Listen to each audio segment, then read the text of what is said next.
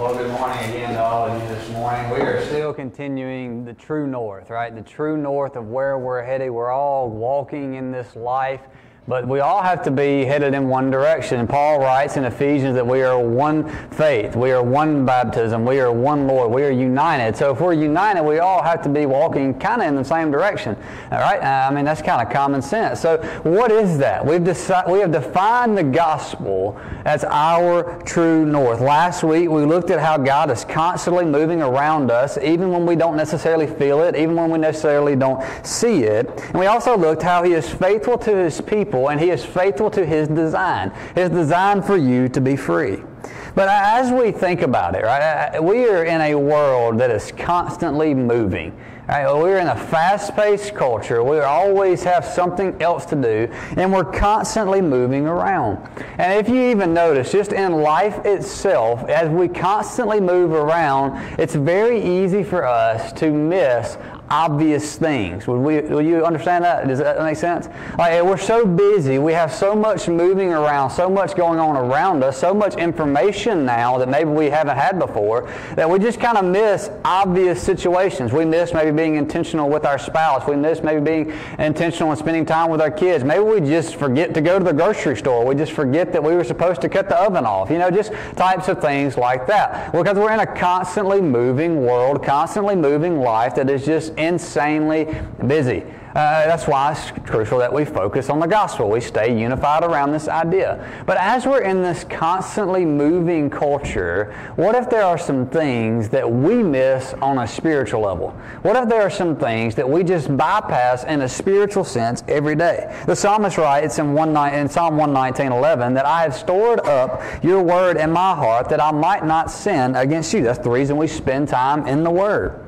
In Joshua chapter 1, verse 8, Joshua says, right before into the conquest, right? We looked at Joshua chapter 5 last week. But this is what Joshua says The book of the law shall not depart from your mouth, but you shall meditate on it day and night, so that you may be careful to do according to all that is written in it. For then you will make your way prosperous, and then you will have good success. For you to have good success, you must first sit in the Word. You must first understand God's words to you. Meditate on it day in, day out, night and day. Paul says, pray without ceasing. This idea is that we are in constant communication and constantly aware of the spiritual realm and spiritual environment around us. I love 1 Peter chapter 5, and this is kind of the diving board into Acts chapter 3. Acts chapter 3 is where we're going to be at today if you want to go ahead and turn that direction. But 1 Peter chapter 5, verse 8 is kind of where we're going to dive off into this today.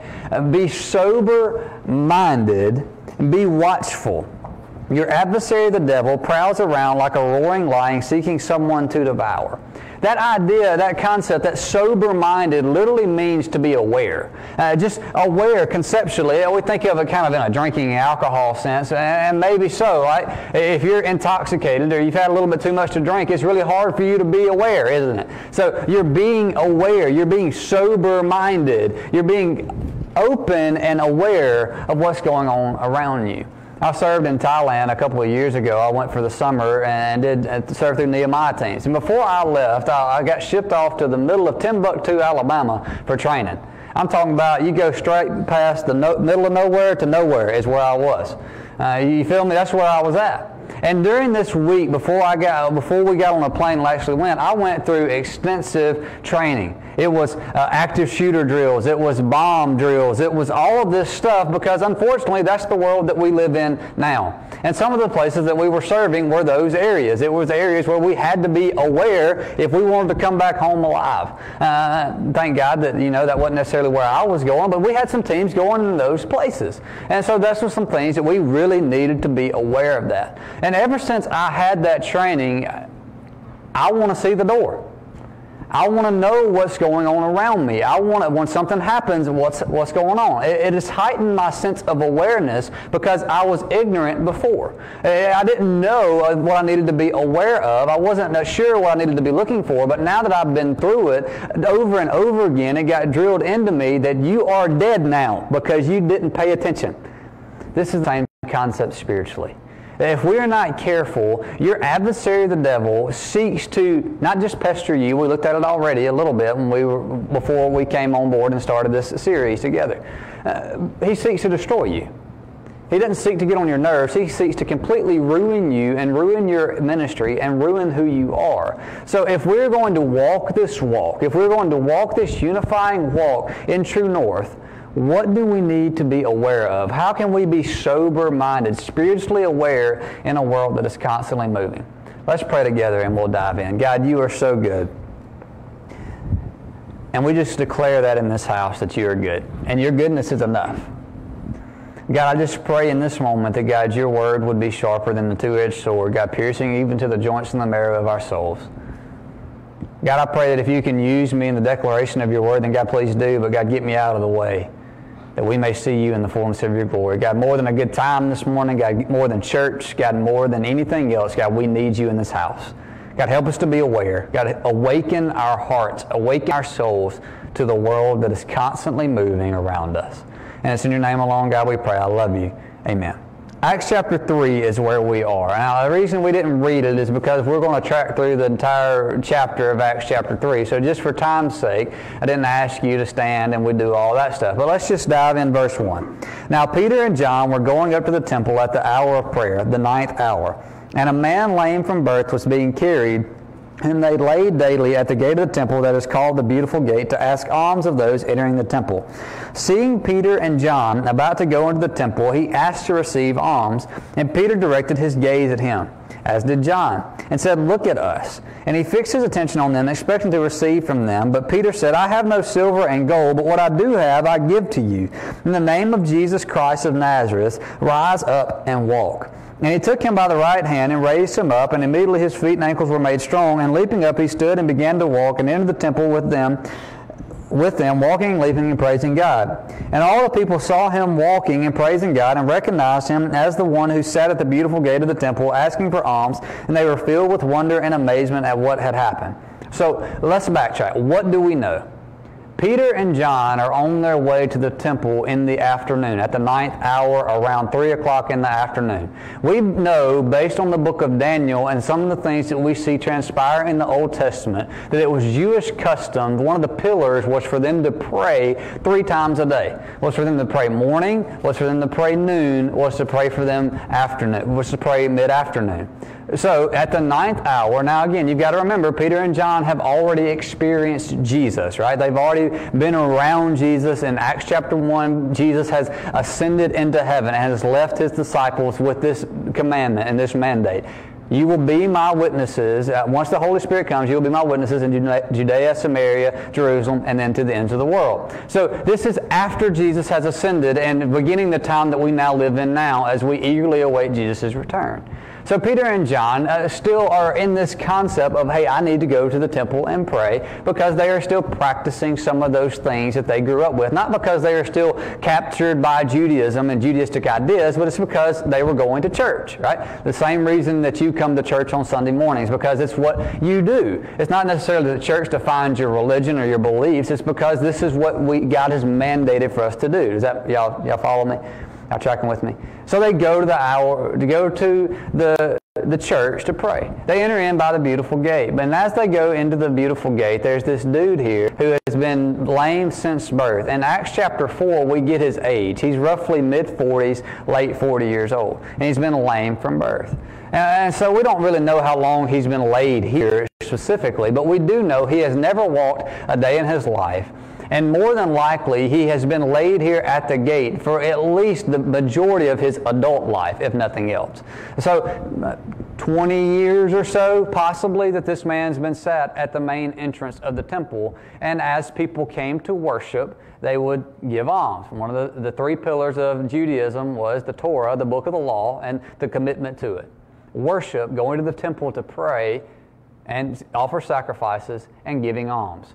So why not kill two birds with one stone? Where people are automatically going to go, why not set up shop here and make them feel good as they go to church? Y'all know your pocket gets a little loose when you come to church. You know what I'm saying? Uh, that's what this man thinks. He thinks, I'm going to make a little bit of money because I'm outside of the church. So every day, his friend sets him here and he asks for alms to be able to make a living. He can't walk. So this is how he provides for himself. Now, uh, Peter and John, it is possible in their Jewish context, this is not the first time they've been to the temple. You see it? Now, there's nothing in Scripture. This is 100% Daniel, right? This is 100% my thinking and my thought process through this. If they were good Jews, they would go to the temple every day to pray. And uh, John and Peter are probably in their 20s, early 20s, maybe or so, give or take a year or two. More than likely, they've seen this man before. It's possible even that they've even given this man money before because that was one of the pillars that they were called to do, right? It is possible that they've given money before, but there's something different this time. This time, Peter and John see the man. They say, Look at us. The man, probably recognizing them, says, Okay, I'm about to get paid. But instead, Peter says something that has never been said before by Peter. I don't have any money, but what I do have, in the name of Jesus Christ of Nazareth, rise, and walk. So, what's different this time? What has changed in Peter and John's lives? What, has, what impact has happened for them to be different? Well, if you go back, Acts chapter 2, the day of Pentecost, what happens in Acts chapter 2? The Holy Spirit comes. So the Spirit comes, the, the disciples are hanging out, the Spirit comes, tongues happen, these tongues of fire, they start speaking in all these different languages. Everybody around them that are gathered together for the day of Pentecost start freaking out because they hear all their different languages being taught. And then it's like, wait, these are like fishermen and lay people. How can they speak in these tongues? How can, the Spirit has come and God's promises, uh, Jesus' promises of the Helper has happened. What's different? The Holy Spirit. Number one, be aware of the Spirit's leading. Number one, be aware of the Spirit's leading. As they go to the temple, just like they have probably multiple times before, this time there's something different. This time something else has happened in their lives, and now they are aware. They're sober minded of the spiritual realm. They're sober minded of what God can and cannot do. What, that was a bad terminology. God can't not do anything. So y'all just erase that out of your mind that I said that. Anyway, so what God can do, right? Y'all don't. Okay, y'all good. Okay. Phew, y'all, y'all tune me out. That man that started preaching something other than the Bible. All right. So, this is reality. I'm going to go through three things really, really quick, and then we'll come back and revisit them. As we live our lives spiritually aware, being spirit led allows us to see past the surface. Being spiritually, being spirit led allows us to see past the surface. Being spirit led gives us wisdom to be intentional. Being spirit led gives us wisdom to be intentional. And being spirit led stretches our faith. Being spirit led stretches our faith. So, backtrack, right? So they're going to the temple. They see this man. They say, Rise, get up, and walk. What's different? Obviously, the Holy Spirit. But if you go back up in Acts chapter 2, when this Holy Spirit comes, this mass awakening. I love the book of Acts. If you want to know what the church is supposed to look like, read the book of Acts. There are thousands of people coming to Christ each day. That happens in Acts chapter 2. Uh, there's this huge evangelistic movement after the Holy Spirit comes, and, and thousands of people come to Christ. But here they are, not just doing evangelism, they're also doing relationship. So being spirit led allows us to see past the surface. They come to this man. The man doesn't ask to be healed, that man asks for money. You see that? The man says, hey, I, I, alms, give alms to the poor. I need money. Peter and John see past that need and say, wait, you don't just need money, you need to be able to walk. In the name of Jesus Christ of Nazareth, rise and walk. It's a true need versus perception. Think about how we do missions, right? I've been all over the world. Uh, God has taken us all over the world. I've preached all over the world. I've done a lot of different things. And in my young life, uh, when I first started going, uh, one of the first places that I went was the Dominican Republic. Very, very, very third world, poverty stricken country. So, as immediately as I get there, the first thing that happens, and it happens to a lot of Americans that go, is they need all of this stuff. They don't have socks, they don't have shoes, they don't have clothes, they don't have food. We got to go get all this stuff. So we bring truckloads of baseballs and bats and bases and clothes and, and gloves and all this stuff and we dump it and then we leave. Eventually, those bats are going to break. Eventually, those clothes are going to wear out. Eventually, those clothes are going to break and those bats are going to be no good. What they need is Jesus, not stuff. Now, is that bad? No, that's not bad at all. But what we have done, and this is what I think excites me the most about coronavirus, is that what we have done for decades is we have pushed off relationships and exchanged it for evangelism.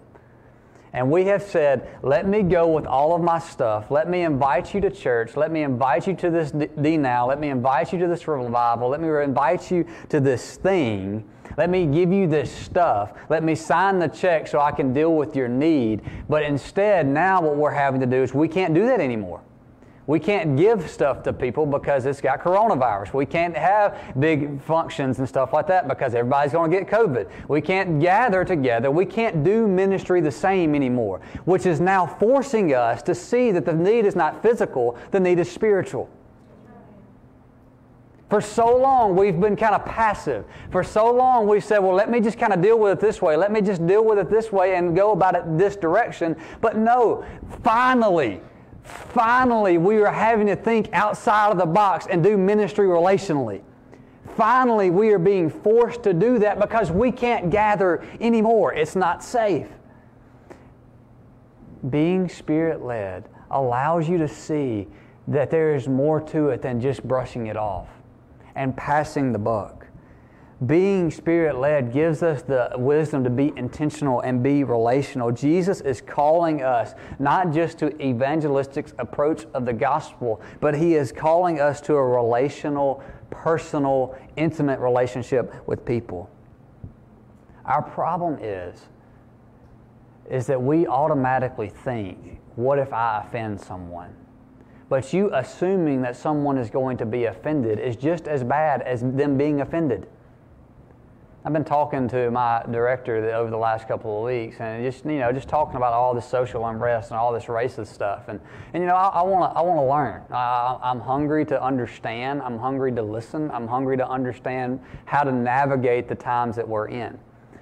And we've just kind of been open and, and not politically correct, really. Well, we haven't. We've been having open conversations about race and social injustice and what that looks like. And one of the things he said is, you know, the problem is, and it's not your fault, but the problem is that we all just assume somebody else's actions are going to happen instead of just jumping off into the situation. This is what we've done with the gospel.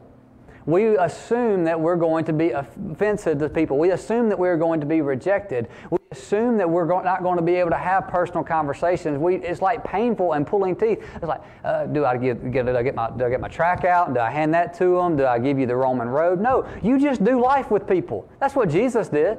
Jesus didn't have a handful of tracts in his back pocket to hand out, and not that anything's wrong with that. Jesus did life with people. Jesus said life is hard, and but let me tell you that I'm the source of true life. Let me tell you, you're going to get hungry, but I can give you something where you'll never hunger again. Let me tell you, you're going to get thirsty and worn slap out in life, but let me tell you where you won't thirst again. Being spirit led gives you wisdom to be relational.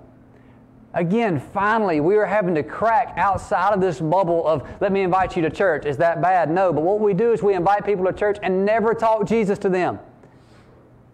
So now this preacher that stands up here in the suit and ties, this super ordained person who really knows Jesus. You know how many times I get told by people that I have a direct line with God? So do you. But that's the culture that we've painted. That's what we've done. But now we have to build a relationship with people because that's what Jesus did. It gives us the wisdom to be intentional with people. And being spirit led stretches our faith. Again, they've been they've passed this dude over and over again, but now for this one time, Peter says, you know what? I'm about to step into God's realm. There is no way I can do this on my own. So in the name of Jesus Christ of Nazareth, rise up and walk. Now, I'm not saying you go to every lame person and say, rise and walk. If that's what God tells you to do, then you go right ahead. But here's what I am saying. Acts chapter 8. If you go through and you read through the next couple of chapters of Acts, here's what transpires. Acts chapter 6 they, the Hellenistic Jews kind of start murmuring. We talked about it already. So this guy named Stephen gets chosen to be part of the, the ministry team that takes care of the Hellenistic Jews.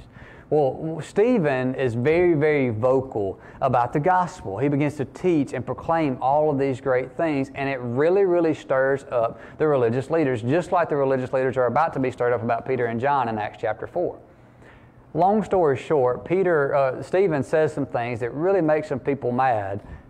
He ends up losing his life for it by the guy that we know as Paul, a guy named Saul. He orders the execution of Stephen. So then, after that happens, Saul leads this great expedition to persecute the church and in, in prison all the Christians, in prison all the followers of Jesus, do all of that stuff. Now, if you remember Acts chapter 1, verse 8, we've already referenced what did Jesus say? that you will be my witnesses in Judea and Samaria and then to Jerusalem and into the ends of the world. Right? That's what Acts chapter 1, verse 8. When the Holy Spirit has come upon you, you'll be my witnesses in Jerusalem and all Judea and Samaria and to the end of the earth. Well, up until Acts chapter 8, up to the end of Acts chapter 7, first of Acts chapter 8, the gospel has been going off like a bomb and bonfire in Jerusalem. Like I'm talking about thousands, like we just talked about, thousands of people, but there has been no active plan to go into the next steps of what God had already, or what Jesus had commanded them. Everybody's been active in Jerusalem at home. Y'all, y'all following me? I feel like I'm running around in bushes and circles, so uh, I don't know what's wrong with my head. But anyway, Jerusalem, thousands of people, but nobody said, let's go to Judea. Hey, let's, let's start sending some folks to Samaria. We've got to start executing God's plan for us. So, look what God does. God sends Saul to persecute the church. You don't believe me? Acts chapter 8, verse 1. This is what the Bible says. And Saul approved of his execution, being Stephen's, and there arose on that day a great persecution against the church in where? Jerusalem. And they were all scattered throughout the regions of where? Judea and Samaria. Come on. Y'all tell me God ain't good. Okay, this is my mandate to you Jerusalem, Judea, Samaria. You're being comfortable in Jerusalem. Let me raise up Saul to push you into the next phase of my plan. What if? I've been talking, I've already said it, I've been talking to ministers and friends and just trying to figure out how we navigate this whole chaos. How we navigate, how do we gather, how do we keep people safe, how do we do this, how do we do that, how do we make people feel comfortable again? And in those conversations, it's easily as past, easy for pastors and maybe even for you to get caught up, well, people just ain't coming to church. Well, no, because they're scared to. They're, we're scared to. We're, we're, not, we're uncertain about what's going to happen. It, eh, eh, God called us not to live in fear, but it's still nerve wracking. It's still nerve wracking for us to walk into this uncertainty. So, what if? What if this was our Acts 8 1 moment? What if COVID was the church's Acts 8 1? What if this whole thing, what if, this is just hypothetical. I don't know if it is or not. But instead of us thinking of it as being this big thing that's taking away our rights and we're doing all this stuff and we can't do this and we can't do that, what if we claimed God's sovereignty and said, you know what, God, where are you trying to lead us? Being spirit led is going to stretch your faith. It is going to make you step into a realm where you don't have control anymore. It is going to force you to step into a realm where you surrender it all and say, Jesus, you've got this thing under control. What if this was COVID for us? I am excited and I am ecstatic that that's the way we've always done it doesn't work anymore. I think I said this before, but please don't ever say that to me. I can't stand that. God is forcing us, maybe, just maybe, to be intimate with broken people again. Being spirit led is going to lead you to that place that stretches your faith. So, what happens next? The man gets up, everybody realizes this man who's been there his entire life it can walk. Not only is he walking, he's also leaping around, jumping up and down, screaming and hollering. So obviously he's making a scene that he can walk. Why wouldn't he? He's never walked a day in his life. Well, people notice that this is this man, begin to wonder what's going on. So in verse 11, while he clung to Peter and John, why? Because they can walk now, all the people, utterly astounded, ran together to them in the portico called Solomon's. And when Peter saw it, he addressed the people Men of Israel, why do you wonder at this, or why do you stare at us as though by our own power or pity we have made him walk? The God of Abraham, the God of Isaac, the God of Jacob, the God of our fathers, glorified his servant Jesus, whom you delivered over and denied in the presence of Pilate when he had decided to release him. But you denied the holy and righteous one and asked for a murder to be granted to you. And you killed the author of life, whom God raised from the dead. To this we are witnesses, and his name, by faith in his name, has made this man strong, whom you see and know, and the faith that is through Jesus has given this man this perfect health in the presence of you all. Why do you look at us? We didn't do any of this. Let me tell you who did. This guy who you just crucified, in his name, by faith in his name. This guy named Jesus, that's who did this. Number two, be aware that Jesus is the source. Be aware that Jesus is the source. Now, I want you to go with me here and just entertain me for just a second. Would you agree that we're a capable people? Over time, have our minds and the way we do life evolved? I mean, think about it. We put tons on water and it floats and we put tons in the air and it flies. It makes no sense. Now I get in my truck on Sunday mornings and crank my truck up, and it pops up on my little thing and says, You are 42 minutes away from Rocky Point Baptist Church. I didn't tell you that's where I'm going, right? Your phones know where you're going now before you do, right? I mean, we're capable people, right? We have done some crazy things. Now, uh, let's just take God out of it for just a second. Just go with me. Just, just hang with me. At first glance, it looks like we have it figured out, doesn't it? The American dream, freedom to be what you want to be, the collection of wealth and being able to know stuff and being able to pick up. If I want to know something, I don't go ask anybody. I pick up my phone and I ask Siri, right? And then I start reading articles on stuff. Like we have this collection of knowledge. We can grow and we can learn and we can be successful and we can make our own way. So at first glance, it looks like we've got it figured out. We can find ways to fight cancer. We can find ways to fly. We can find ways to get across the ocean. We can find ways to drive and get places quicker. We can find ways to cope with Alzheimer's and things like that. We can find all of that stuff. At first glance, the human race has it figured out. Would you agree with that? We look capable. The problem is that, that we're really not.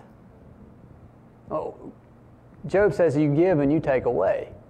God has blessed us with all those things, and I think that's a spiritual truth that we all know. It's very elementary. I think we all know this. And I would, I would even go out on a limb and say we don't mean to forget this truth. I'm, I'm going to go out on a limb and say we don't, we're not just prideful, puffed up, arrogant people as believers. I'm going to go out on limb and say that because I don't believe that's true. But what I do believe is that I just think that we're a people that easily forget. Especially in our culture where we can do all of this stuff, eh, all of the distractions. This man now walks again. Everybody runs to Peter and John like they're some miracle worker. Now, all of a sudden, Peter and John have the floor. They have everyone's attention because of something that had happened. This is the same thing that happens in our lives. All of this stuff outwardly, all of the battles we deal with inwardly, all of the stuff that we walk through on a daily basis can easily distract us and make us very short term memory loss minded, if that's even a thing. Make us forget what's going on around us and that Jesus really does have this thing figured out. I don't think that we mean to forget, I just think that we do. We have no authority apart from Christ. That's what Peter says. I don't know why y'all think we could do this. It was Jesus that you crucified. We have no purpose apart from Christ. We have no reason to live, no reason to breathe if it's not for Jesus. So, the thing that we have to ask ourselves on the daily basis is Does everything I do have the kingdom in mind. Because I can be capable. I can do this stuff. I can accumulate all of this stuff. I can do great things. I have talents that I'm good with. I can get up and talk. I can get up and figure things out. I can root cause problem solve and I can drive you nuts by giving you a plan. I can do that. Ask my wife, it drives her crazy. Like, I can do those things. There's things that you can do right? There are things that you are good at, there are things that you are blessed with. But when I do those things, is Christ the center of it? Is Christ really working through it? This is the way we have to ask ourselves because for so long it's been on Sunday that's the way I live. On Sunday, I get my Jesus. On Sunday, I get what I need. On Sunday, this is the time I've set aside, and then I'm kind of I'm going to pray. I'm going to pray throughout the week, but I'm really not going to be intentional gospel live, living all week. I'm not really going to do that because I've got too much other stuff to do that distracts me from that. No, Jesus is calling us to realize that He is the source of life in everything that we do. Think of it as a priority list. How many of us have heard that God is the top of our priority list? Probably everybody in here has heard that, right? It's supposed to be God, then it's supposed to be your marriage, and then it's supposed to be the church, and then it's supposed to be your job, then it's supposed to be whatever, whatever, whatever. It's supposed to be this in descending order of importance, right? You, you follow me? That is not at all what the Bible teaches. The Bible teaches that God is the head of your marriage. The Bible teaches that Christ is the head of the church. The Bible teaches is that God is the head of your secular world. The, God, the Bible says that God is the giver of your talents and your passions. It's not that God is the top of your priority list, it is that God is the top priority in your priority list. There's a difference, isn't it? Now, where I just set aside some time, now I'm giving my whole life and investing it in the gospel. Jesus is the source. Jesus is where it all comes from. This is healing creates a diving board into the gospel in this story. So, what if your story created a diving board into life for someone? Jesus is the source. May we be a people that have lasting impact. I don't want to be known by the stuff that I accumulate. I don't want to be known by how good of a job I can and cannot do. I want to be known by loving my wife as Christ loved the church. I want to be known by loving people that society have written off. I want to be known by making the gospel forefront. Every day, my prayer is God, give me wisdom to lead today. I don't always get that right. I can promise you I don't. But it has changed the way that I live. It has changed the way that I react. It has changed the way that I love my wife. It has changed my entire life by just saying, God, I don't, I, I can't. Jesus is the source. Do not be derailed by everything we have going on. Number three, be aware of the gospel. Number three, be aware of the gospel. Daniel, are you ever going to be quiet about the gospel? Like every week we've been in True North, you've said something about the gospel. Y'all remember when you was in school how you learned? You kept on talking about it. You just did your ABCs on day one, then you had it figured out, didn't you?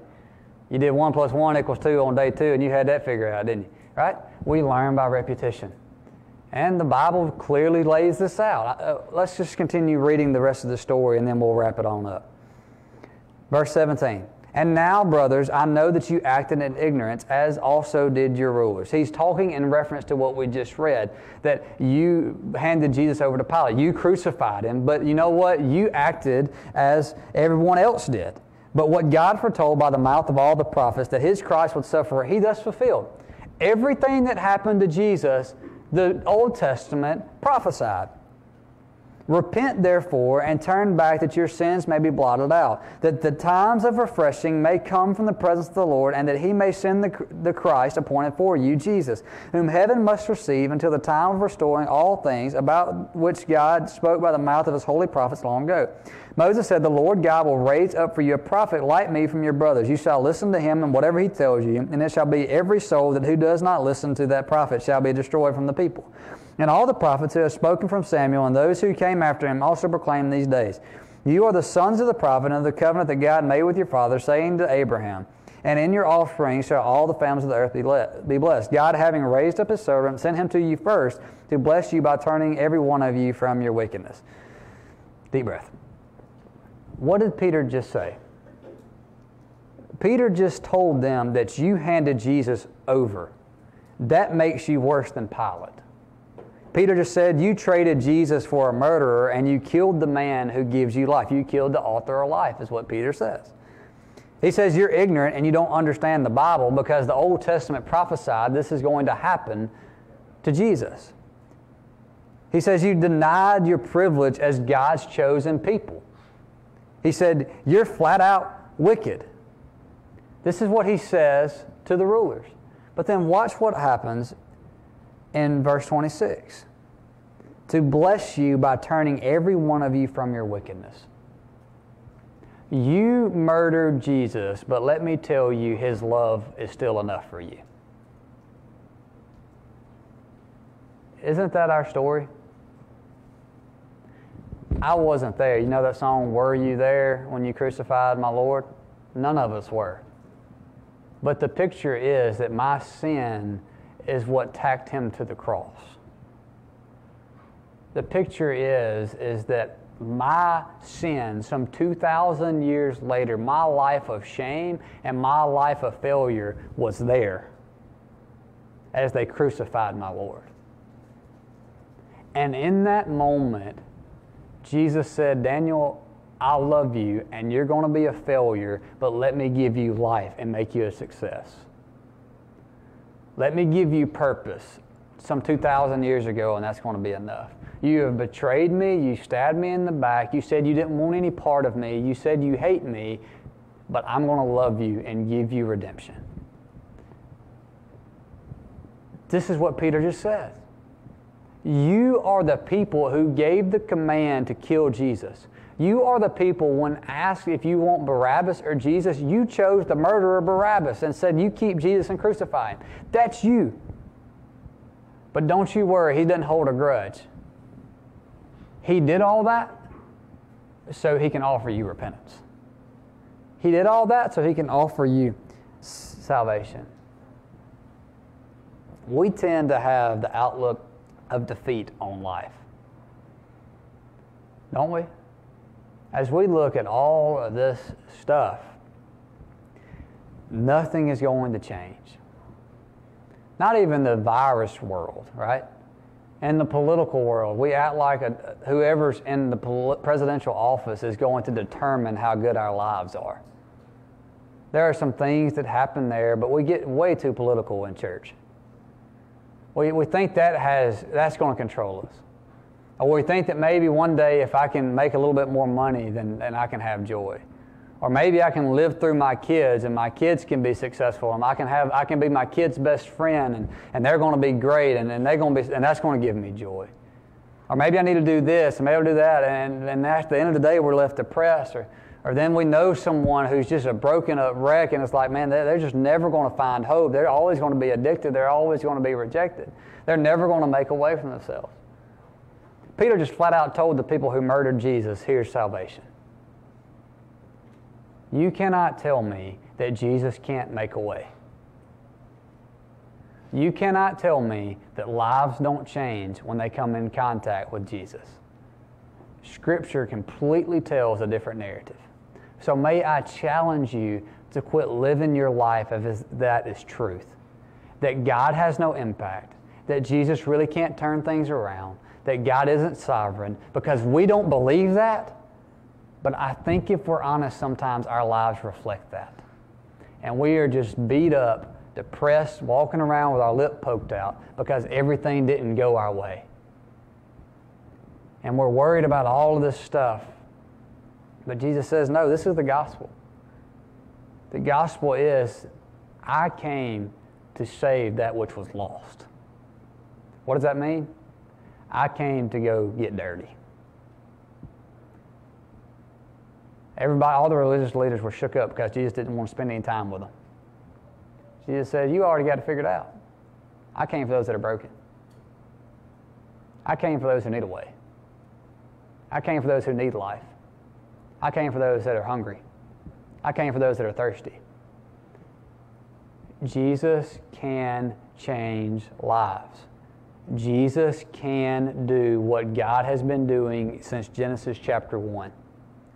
Nothing has changed with our God. Be aware of the good news of Jesus. That as you go out tomorrow, as you leave this place today, I wonder what our lives would look like if we were aware of the Spirit that lived inside of us. I wonder if we listened more and talked less. I wonder what it would look like if we walked our lives sober and aware. I, if you get to know me or you talk to anybody that knows me, you're going to realize that I'm a very busy individual. And anytime I'm not busy, I want to be busy. Like if I'm at the house, I'm working on something. Like if you talk to people that know me, that's how I am. And in the busyness, right, that's how our lives are. God's still God. And don't get distracted by all the stuff that He can't be God in the stuff, that He can't be sovereign over the stuff, that He can't sustain in all the stuff you have going on. If you go out into this world, as you go and you do whatever you're going to do today and tomorrow, be aware that God is working in and through you for His good. If you don't know who Jesus is and you're watching us online or you're hanging out in here with us, can I just say to you that there is a God who loves you? There is a Jesus who sacrificed everything for you. And He said, You know what? If we're going to look in terms of like we, we know sin is sin, for all have sinned and fallen short of the glory of God. But if we're going to rank sin like we tend to do, you can't get any worse who put the knife in Jesus' back. And Jesus says there's a way for them, therefore there's a way for you. Come on. We have to be sobered up, especially now, because the way we do ministry is changing.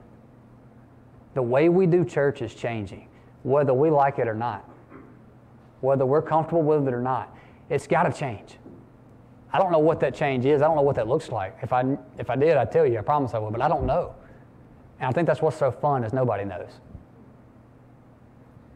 But we know who's in control. Jesus is the source. So as we close today, can I ask you this? Can I ask you as we pray and we get ready to respond, can I ask you to just be honest with God? A lot of times you may see me pray like this. And in those moments, what I'm doing is I'm saying in my head, in the picture I'm painting in my head is God, this is all of my junk. This is all of my worry. This is all of my fear. This is all of me. God, I'm giving that to you. Now, God, I'm asking in return that you give me all of you. That you give me all of your presence. That you give me all of your wisdom. That you give me you. So I wonder if that's the response that we can have today. It's a dangerous prayer to pray. But if we're going to be a people that are spirit led, we're going to have to be a people that are sobered up. If we're going to be a people that walk the same path, we're going to have to be sobered up and we're going to have to be spiritually aware. And we're going to have to say, God, here's all of my opinions. Here's all of my fear. Here's all my anxiety. Here's all of me, God. And I'm trusting that you're going to be enough. God, help me receive you.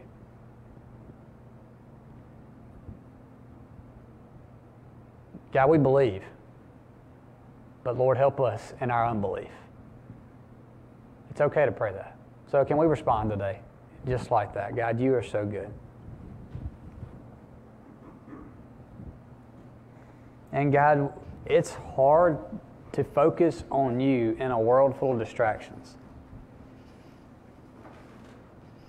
God, it's easy to miss you. And God, I pray that you'd forgive us of that. God, we don't mean to. We, we don't, God. But God, I pray you would sober us up, that you would make us aware that you are working for our good. You are working for the betterment of the kingdom. That there is no place that your light will not reach. There is nothing too broken for you to fix. That God, you are leading us to be intentional and relational with your gospel. God, what would it look like God, just give us a picture, give us a glimpse of what it will look like if your people were led by your Spirit. God, I pray that you'd forgive me of where, where I'm selfish. And God, I want to write my own story. I pray that you'd forgive me of that. God, in this moment, may we be headstrong to true north, the gospel. God, as we respond, may you be exalted. And it's in your name we pray.